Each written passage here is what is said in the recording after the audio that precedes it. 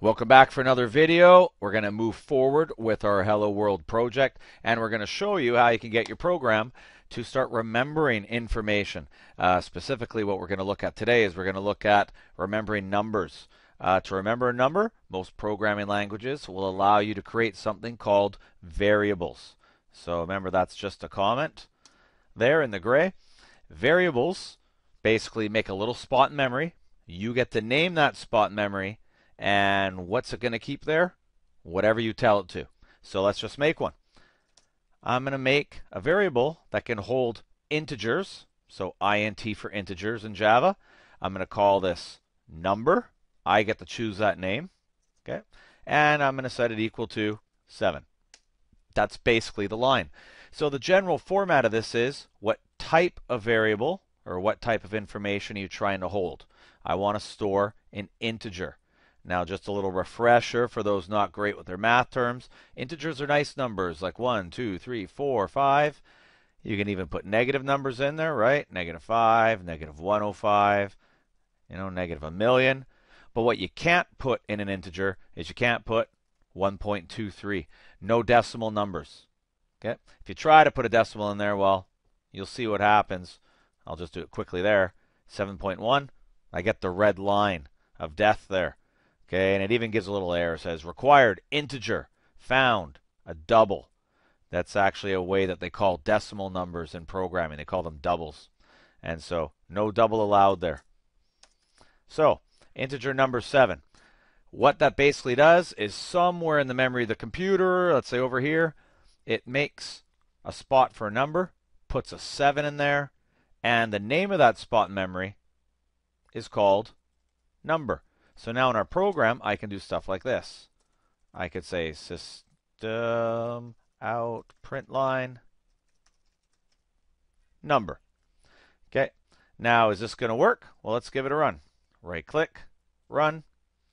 And it's a pretty simple program. Hopefully you follow. It prints, it prints, it creates the variable. You don't get to see anything for that, right? That's just behind the scenes.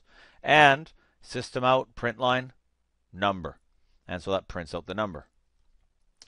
In case you want to print out a little bit of text with the number, I could put the number is and use a plus sign. And the plus sign lets you join the variable with some text. And so that's a line that does text and variable. And you can see when I run it, the number there's 7, and then there's a new line. The number is 7. Not bad, right? Now, are there other ways to make variables? Of course there are. I actually could have done this. I could have said uh, integer age. That actually makes a spot memory to store an integer. It's called age, and by default, default is storing zero. Okay, so there's a zero there right now. So if I actually printed it out, print line age, it should print out a zero. Now, this actually give us a little warning here. The compiler is saying to yourself, hey, you made this variable.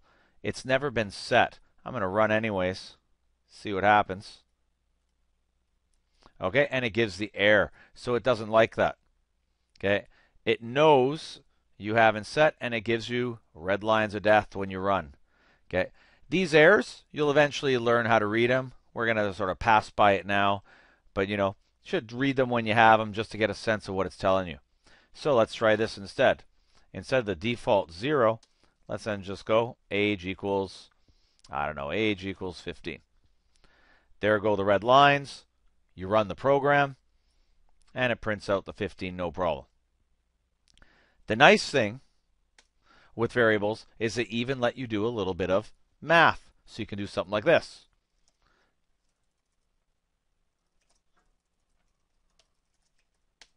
I could say, let's make an integer. Let's call it answer. And let's say answer is number plus age. Okay, and you type it out almost like you just sort of read it out like English, right? Hey, make an integer called answer. And please set it equal to the number variable, which is 7 right now, plus the age variable, which is 15. So it's going to add those two up. And if you're good at your math, Let's do a little system out here. And you'll see that when we print this out, it should give us the right answer. And there's our answer is 22. Okay, so it's pretty good. Now, this basic math is not just limited to adding numbers together. I could have done this. I could have done multiplying. I could have done dividing. I could have done subtracting. And later on, what we'll show you is if you actually want to do more complicated math, there'll be a way to go math dot. And you can see here you can do sines and cosines and tangents and logs, etc., etc., your exponents, right? So you're not just limited to the simple, simple stuff. You can really do anything you do on your graphing calculator, your normal calculator. Just to give you one last example here, I'll just uh, call this integer stuff equals number plus 2 times age minus 5. Make sure all the brackets add up here. You know, divided by 7. Okay, I go to print out stuff. I don't even want to try to do what that does, but if we print out stuff, it is going to print out the right answer. And uh, for those that are good at math and have done that quickly in their head, you may be saying to yourself, hey, the actual answer is not exactly 9. We're going to talk about that in another video to come. There are some rules that come along with math. And so, you know, you have to watch that one because there's some important rules. Uh, the next video, we're actually just going to talk quickly about naming your variables. And we'll look at some other ways to store numbers as well. Thanks for watching.